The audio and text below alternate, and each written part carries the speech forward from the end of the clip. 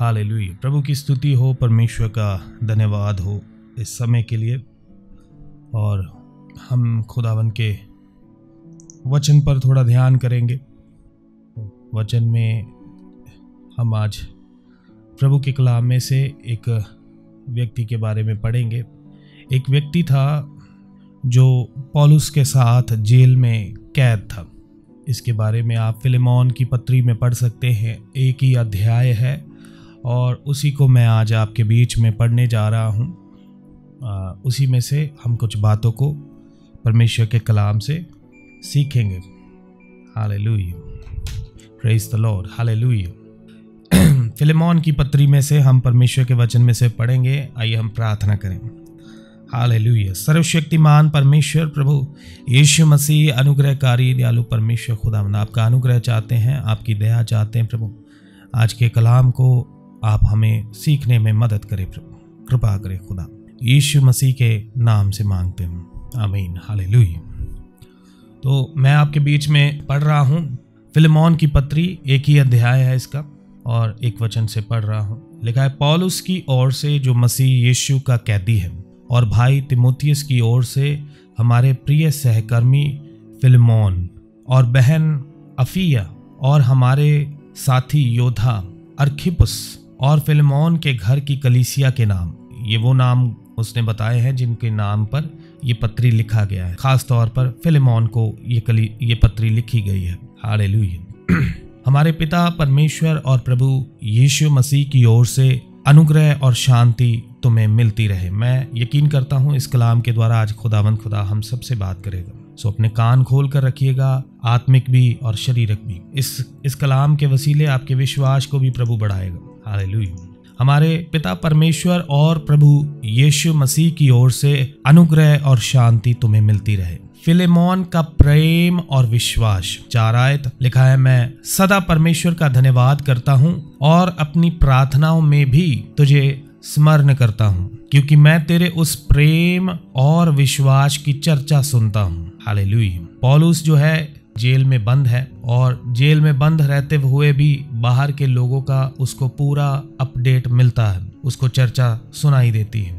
लिखा, मैं सदा परमेश्वर का धन्यवाद करता हूँ और अपनी प्रार्थनाओं में भी तुझे स्मरण करता हूँ। क्यों स्मरण करता है पॉलुस? फिलेमोन को अपनी प्रार्थनाओं में कैद में पड़ा हुआ भी, क्योंकि मैं तेरे उस प्रेम और विश्वास की चर्चा सुनता हूँ जो सब पवित्र लोगों के साथ और प्रभु यीशु पर है। एक परमेश्वर के भक्त का प्रेम और विश्वास जो है, वो होना चाहिए। सब पवित्र लोगों के साथ और प्रभु यीशु मसीह पर, यीशु मसीह के साथ भी और सारे पवित्र लोगों के साथ भी। हमने हमने सिर्फ़ ये झूठे दावे नहीं करने, प्रभु, ओ जीसस, आई लव यू, है ना? गाने गाते हैं, Jesus, I love you, Jesus, I love you, Yeshu, मैं तुझे चाहता हूँ, तू ही मेरा पहला प्यार है, ऐसे हम गाने गाते हैं। परंतु पवित्र लोगों से नफरत करते हैं, है ना? जो अपने सहकर्मी हैं, जो अपने साथी हैं, जो अपने भाई हैं मसीह में, उनसे हम नफरत करते हैं और पता तो चल ही जाता है। देखिए, जेल में भी पॉलुस के पास, फिल्मोन के प्रेम और विश्वास की चर्चा पहुँच जाती है। फिर आगे छह आयत में, मैं प्रार्थना करता हूँ कि विश्वास में तेरा सहभागी होना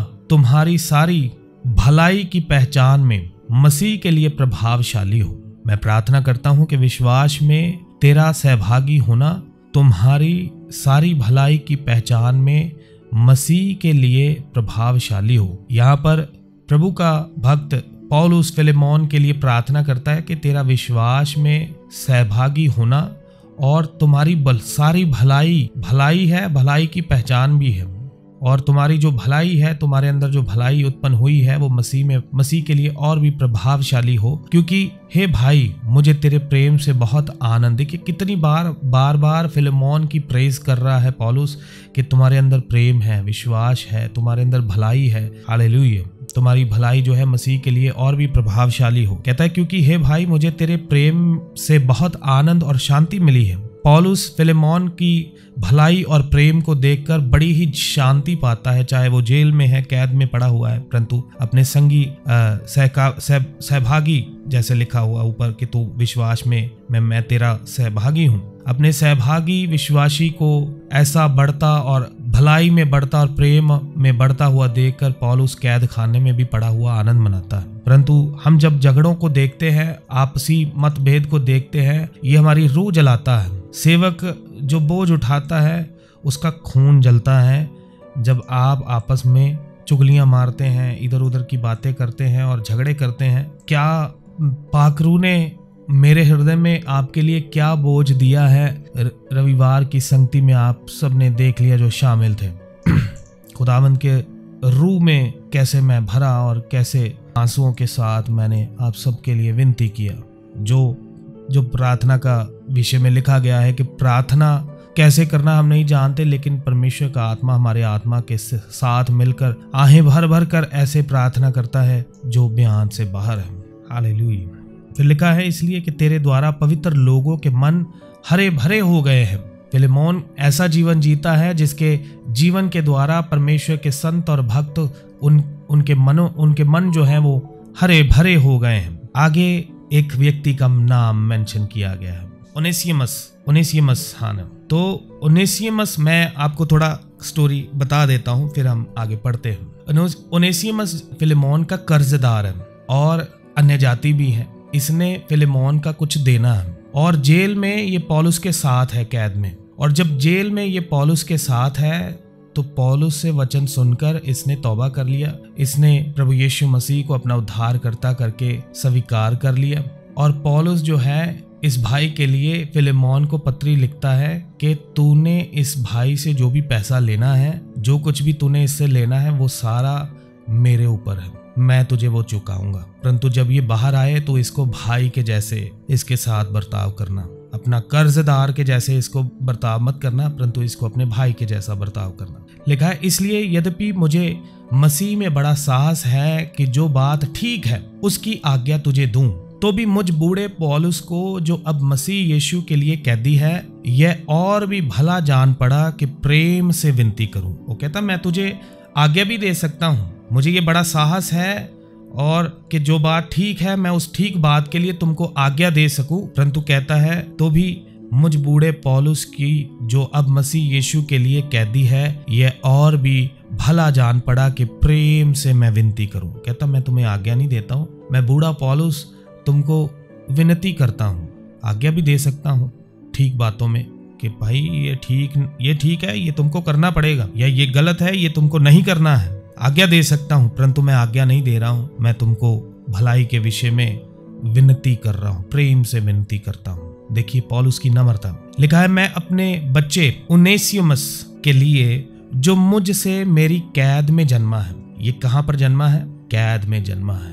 कैद में जन्मने का मतलब जब पॉलुस जेल में था तो पॉलुस से वचन सुना और इसने प्रभु यीशु मसीह को अपना जीवन देकर नया जन्म पाया और पॉलुस ने इसको खुदावन के कलाम से नया जन्म दिया मैं अपने बच्चे उन्नीसियमस के लिए जो मुझसे मेरी कैद में जन्मा है तुझसे विनती करता हूँ। वह तो पहले तेरे कुछ काम का ना था पर, पर अब तेरे और मेरे दोनों के बड़े काम का है। उसी को अर्थात जो मेरे हृदय का टुकड़ा है वो उन्नीसियमस जो है वो जेल में रहते रहते पॉलुस के हृदय का टुकड़ा बन गया है।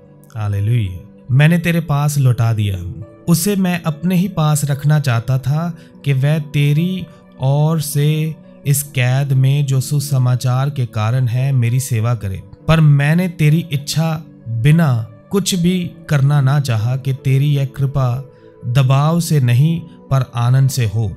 क्योंकि क्या जाने वह तुझ से कुछ दिन तक के लिए इसी कारण अलग हुआ कि सदैव तेरे निकट रहे। परंतु अब से दास की तरह नहीं। कैसे? अब जब वो बाहर आएगा तो दास के जैसे नहीं।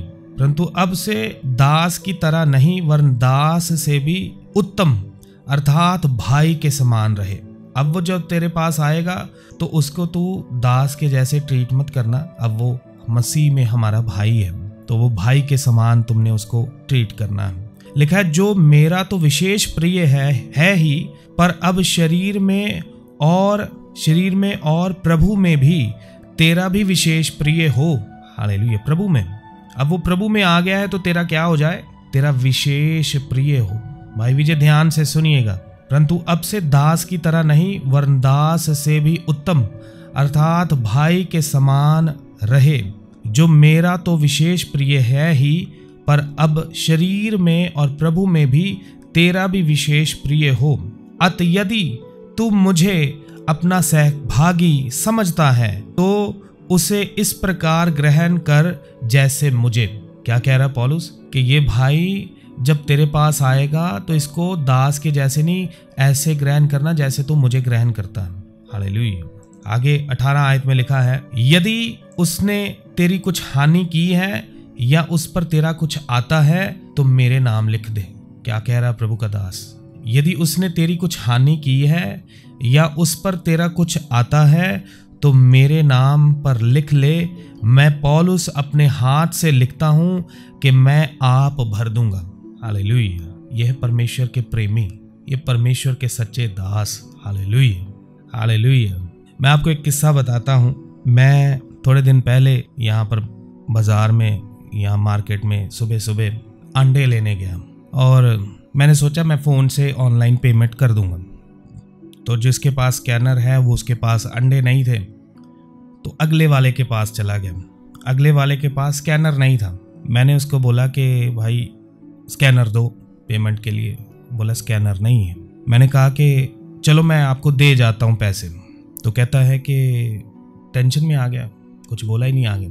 मैंने कहा, चिंता नहीं करें, मैं परमेश्वर का दास हूँ, मैं प्रभु का भक्त हूँ, परमेश्वर का दास हूँ, मैं अभी वापस आके आपको पैसे दो कर दे कर जाऊँगा। तो वो मुझे बोला कि आपसे पहले भी एक पास्टर था, वो सामान ले गया, बाद में पैसे देकर नहीं गया। तो मैंने कहा, ठीक है, आप ये अंडे रखिएगा, मैं पैसे लेकर आता हूँ और फिर मैं आपसे अंडे लेकर जाऊँगा। वो बोला, नहीं नहीं, आप बुरा मत माने, आप ले जाइए, पैसे दे जाइएगा। मैंने कहा, चलो, ठीक है। मैं अंडे ले गया जब घर से मैं पैसे लेकर गया तो मैं थोड़े पैसे ज़्यादा लेकर गया और मैं वहाँ पर जाकर उस भाई से पूछा कि अपना खाता निकालो और मुझे दिखाओ उस पास्टर का नाम क्या है। उसने क्या लिया है? तुमसे आटा लेकर गया होगा, चावल लेकर गया होगा, दाल लेकर गया होगा, राशन लेकर गया होगा और प्रभु के दासों के ऊपर कई बार तंगियाँ आ जाती हैं। उसका जो भी है तुम अपनी कापी में जो है लिखा हुआ मुझे बताओ, मैं दूँगा उसके पैसे। और आइंदा से किसी सेवक के बारे में किसी को ऐसा मत कहना। तो उसने कॉपी को ऐसे किया, ऐसा किया ऐसा किया। पता नहीं लिखा भी था कि नहीं लिखा था। मिला नहीं उसको शायद, या पता नहीं था भी ऐसा कि नहीं, या मुझे टरकाने के लिए उसने ऐसा बोल दिया कि पास्टर लोग देते नहीं हैं पैसे करके। अब जो भी था, मैं देने के लिए तैयार था। मैंने उसको बोला, कौन सा पास्टर है? क्या नाम है उनका? मैं उनका सारा जो भी लेकर के वो सामान मैं पैसे दूँगा। कितना खाता है उसका, बताओ। तो कापी ऐसे करके कहता, नहीं नहीं, आप उसके क्यों देंगे? और सिंपल सी बात है, अगर किसी किसी भी किसी भी बिजनेसमैन को किधर से भी पैसे आ रहे हों, कौन छोड़ता है? कौन छोड़ता है? खाता क्लियर होता हो तो कौन छोड़ेगा? पर उसने लिए नहीं पैसे। तो मैंने कंक्लूजन यही निकाला कि उसने मुझे टरकाने के लिए ऐसा बोला कि पास्टर पैसे नहीं देते तो फिर मैं उसको वार्न करके आया कि, ऐसा आइंदा से बोलना मत किसी भी पास्टर के बारे में, नहीं तो तुम पर लानत गिरेगा। तो समझिए, ये हमारा हृदय होना है। कोई गरीब दिख गया आपको, किसी के पास कुछ नहीं है, खास करके मसीही भाई, कोई मसीही भक्त, कोई परमेश्वर का भक्त, जो आपके उसकी सहायता करने से परमेश्वर का शुक्रगुजार होगा, जो परमेश्वर की बड़ाई करेगा आपकी मदद करने के वजह से। और जब वो जब वो व्यक्ति आपके मदद करने की वजह से बड़ाई करेगा तो तो ये बात कितनी आला होगी? ये कितनी आला होगी? अब यकीन कीजिए, थोड़े दिन पहले ये, क्या नाम है भाई का, रोशन। ये रोशन भाई मुझे फ़ोन करते हैं, कहते हैं कि, भैया, ग्रुप में कितने लोग हैं? मैंने कहा, जी, ग्रुप में मैंने कभी गिने नहीं मैंने नोटिस नहीं किया कभी कितने देख कर बताता हूँ। तो बोला मैंने देखा है सत्तर के करीब लोग हैं। तो मैंने कहा कि क्या हो गया? तो बोलते हैं कि अगर हम लोग हर रोज़ दस रुपये इकट्ठा करेंगे तो एक व्यक्ति का महीने का तीन सौ रुपया बन जा, बन जाएगा। और तीन सौ रुपया हो जाएगा और सत्तर लोगों का इक्कीस हज़ार हो गया महीने का। तो हम में से किसी को कोई प्रॉब्लम आ जाए, कोई दुख आ जाए, किसी के पास अनाज नहीं है, कुछ हेल्प करना हो तो ऐसा हम हेल्प कर सकते हैं। मैंने कहा आइडिया अच्छा है, पर मैं ये बात नहीं बोलूँगा किसी को। तो आप प्रार्थना कीजिए, आपको प्रभु का आत्मा अगुवाई करता है तो आप इस बारे में बात कीजिएगा। और मैं ये बात आपको अभी सिर्फ़ सिखाने के लिए बोल रहा हूँ, मेरा इंटेंशन आपको मांग, आपसे मांगने का बिल्कुल भी नहीं है। ऐसा ऐसा बोलने से अच्छा तो मैं मर ही जाऊँ। तो समझिएगा, उस भाई ने ऐसा बोला मैंने कहा आइडिया बहुत अच्छा है विचार बहुत अच्छा है और कहता है कि उससे हम चर्च का कोई नीड हो वो ले सकते हैं या आ, कुछ भी हम आपस में किसी का ज़रूरत हो किसी को कोई इमरजेंसी हो जाए किसी को कोई सर्जरी कराना हो तो उसमें हम उनका सहायता कर सकते हैं। और मैंने कहा आइडिया अच्छा है आप प्रार्थना कीजिए प्रभु का आत्मा आपको अगुवाई करता है तो आप पूछिए। प्रभु की ओर से होगा तो सब आपको रिस्पॉन्ड भी करेंगे। उसने शायद डाला भी था मैसेज किसी ने उसको रिस्पॉन्ड किया नहीं। तो ये बात हुई। तो मैंने उसको बताया, मैंने कहा कि हमारी बहनों ने एक ग्रुप बनाया है और वो ग्रुप बनाया है कि सब बहनें जो हैं वो महीने का कुछ ना कुछ अमाउंट इकट्ठा करेंगे।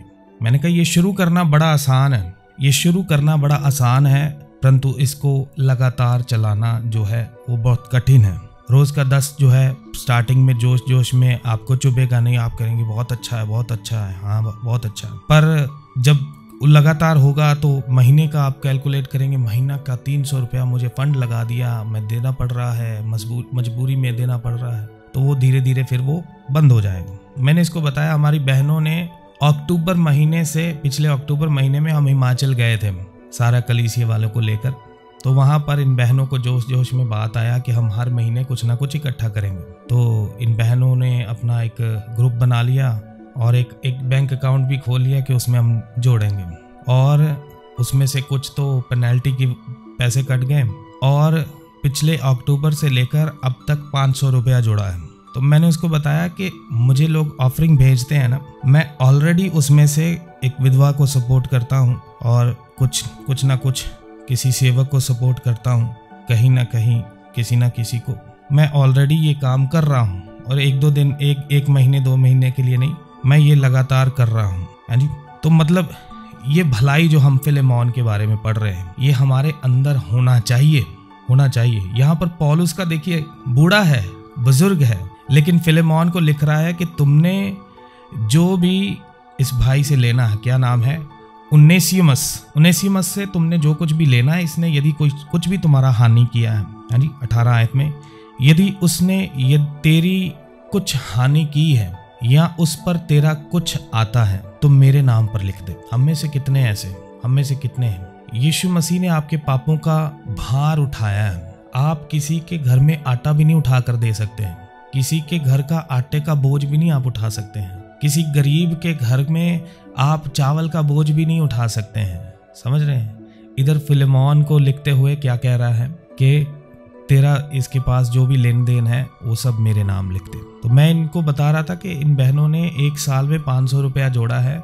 मैं हर महीने इससे ज़्यादा ज़्यादा देता हूँ। वो वो वो मत समझिएगा कि मैं फ्री सी के जैसे मैं ज़्यादा करता हूँ मैं जा, मैं ज़्यादा करता हूँ करके नहीं बता रहा हूँ। कहने का मतलब ये शुरू तो कर देते हैं हम पर इसको कंटिन्यू करना जो है वो बहुत कठिन है बहुत कठिन है।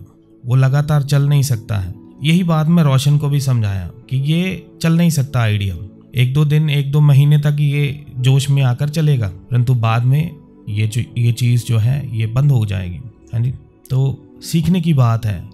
पॉलुस जो है, जेल में बैठा हुआ, फिल्मोन की भलाई, फिल्मोन का प्रेम, फिल्मोन का विश्वास, उसके लिए उसको शांति मिल रहा है, आनंद मिल रहा है, कि फिल्मोन बाहर रहते हुए बहुत अच्छा चल रहा है, बहुत अच्छा जीवन वह व्यतीत करता है, और ऐसे ऐसे में वो उसको एक और काम दे रहा है, कि मैं मैं चाहता तो हूँ तो तुमको ठीक करने के बाद विषय में, ये ठीक काम काम करने के, सही काम करने के विषय में मैं तुमको आज्ञा भी दे सकता हूँ। परंतु कहता मैं आज्ञा नहीं देता हूँ। मैं बूढ़ा पॉलुस, तुमको प्रेम के, प्रेम की वजह से मैं तुमको विनती करता हूँ। यही पढ़ा ना हमने नौ आयत में। तो भी मुझ बूढ़े पॉलुस की, जो अब मसीह यीशु के लिए कैदी है, यह और भी भला जान पड़ा कि प्रेम से विनती करूँ। पॉलुस उन्नीसियमस के विषय में फिलेमोन से विनती कर रहा है। विनती कर रहा है। क्या विनती कर रहा है? कहता है, यदि उसने तेरी कुछ हानि की है या उस पर तेरा कुछ आता है तो मेरे नाम पर लिख ले। मैं पॉलुस अपने हाथ से लिखता हूँ कि मैं आप भर दूँगा। और इससे कहने की कुछ आवश्यकता नहीं कि मेरा कर्ज जो तुझ पर है, वह तू ही है। फिर से पढ़ रहा हूँ, ध्यान से समझिएगा इस बात को। मैं पॉलुस अपने हाथ से लिखता हूँ कि मैं आप भर दूँगा। और इससे कहने की कुछ आवश्यकता नहीं कि मेरा कर्ज जो तुझ पर है, वह तू ही है। समझे? वो कहता है कि इससे ये जब बाहर आएगा, इसके इसके साथ कर्ज की बात मत करना कि मेरा जो कर्ज तूने चुकाना है ना, वो तू ही तू ही है।